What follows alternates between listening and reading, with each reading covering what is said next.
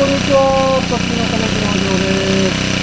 えー、畑のね、ウリハムシはあ何回かね、殺虫剤かけて、えー、だいぶ減ったんですが、あ今度はね、自宅内の、トマト、あ、トマトじゃなかった、スイカですね。スイカに今、ウリハムシがついてます。で、これからね、登場します。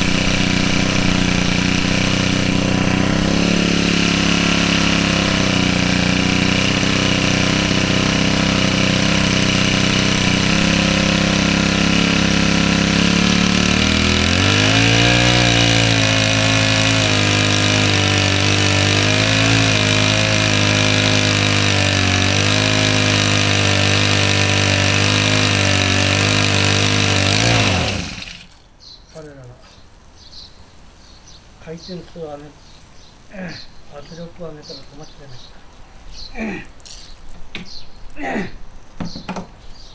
エンストしてしまいました。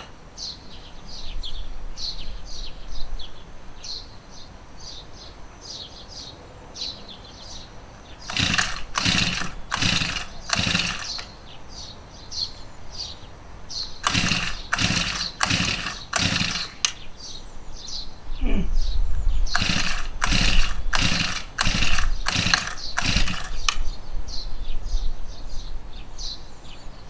燃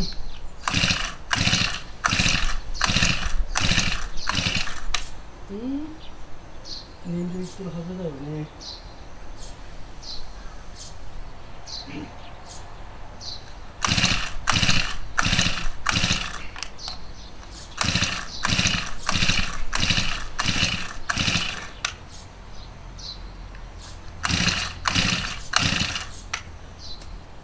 えー、ちょっとエンジンのかかり悪いんでね、えー、動画の方はちょっと止めます。今エンストしちゃいました。はい、えー、スイカのね、えー、殺虫剤散布終了しました。で、あの後ね、えーエンジンかからなくて、かからなくて中断した後、雨が降ってきました。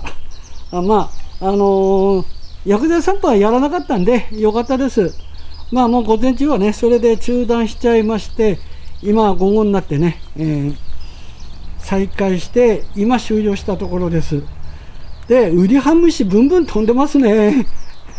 で、羽があるんで、とりあえず、まあ散歩した時はね、どっか行っちゃうんですが、うん、多分薬の効果が切れると戻ってくるんでしょうね。だから薬の効果切らさないようにこまめにかかけていくしかないのかななんて思ってますけどでここはスイカなんですけどスイカ以外もかけました。あとりあえずね全部かけました。はい、えー動画の方は一回止めます。はい、えーここがね午前中、えー誘引したきゅうりですね。はいここもかけました。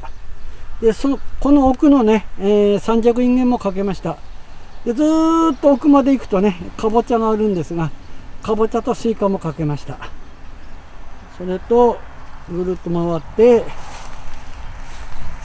はい、えーここがうちのかぼちゃですね、えーこれも、うん何匹か止まってました。はい。これとここがうちのきゅうりきゅうりですね。一本仕立てのきゅうり。あとぐるっと行ってえーこの奥奥のね、えーキャベツですねキャベツ。まあとりあえずね今すぐかけられるところは全部かけたんですけどね。まあ他にも野菜があるんで多分そういうところに飛んでいくんじゃないかなと思うんだよね。でまた薬効が薬の効果が切れる頃になるとまた戻ってくるということでね。